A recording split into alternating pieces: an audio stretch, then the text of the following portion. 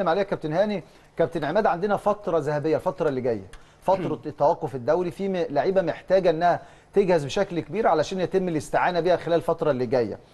آه، المطلوب من كولر الفترة اللي جاية النهارده بتتكلم في عمر الساعي بتتكلم في عمرو السولية محمود كهربا رضا سليم بعض العناصر.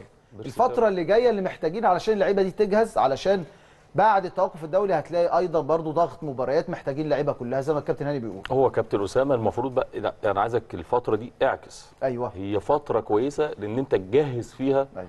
اللعيب. وعلى اللعيب إن هو الفترة دي يستغل وجوده في في النادي بدون ضغوط بدون مباريات.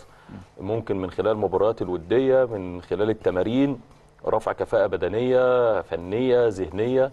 جلسات مع اللعيبة اللي ما خدتش في السبع مباريات وده عدد كبير في لعيبة ما شاركتش يمكن عدد دقايق قليلة زي رضا سليم زي بيرسي تاو.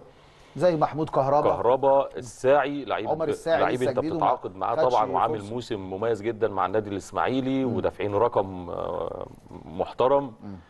آه، وهو قيمة فنية كويسة جدا إزاي تقدر تستفيد منه؟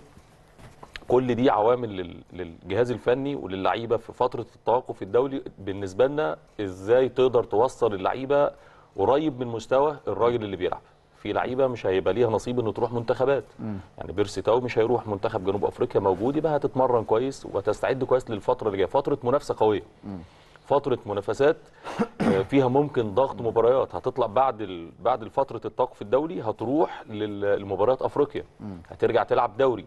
هتلاقي نفسك بتروح لمباراة في. في قطر مباراة نصف النهائي. الاحتكاكات والمباريات بتختلف وانت برضو محتاج للعيبة. النهارده مثلا أنا بتكلم على ال- ال- التغييرات. في مباراة النهارده كان ممكن نشوف بيرسي تاو في وقت أطول من كده. كان ممكن في مباراة محتاجين فيها تحولات كان ممكن رضا سليم حقيقي. يبقى موجود. آه، زي ما شفنا كهربا مكان وسام. هو كنا بنتكلم على وسام قبل المباراة وإن راس الحربة دايما مطالب إن هو إحراز الأهداف لكن المساعدة والمساندة اللي مع زمايله دي برضو كانت مهمة جدا ونفس الكلام لما نزل كهربا مش هينفع كراس حربة.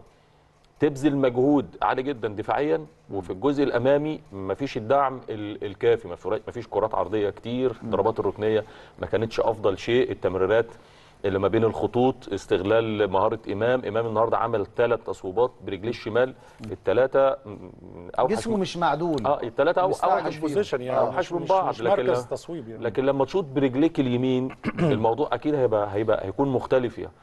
آه، فترة بالنسبة للجهاز الفني. آه وال- وال- واللعيبة تقدر تدخلك على ضغط مباريات وأنت معاك قوام أكتر من ال- المجموعة اللي شاركت الفترة دي لو شارك 14 لعيب بصفة أساسية.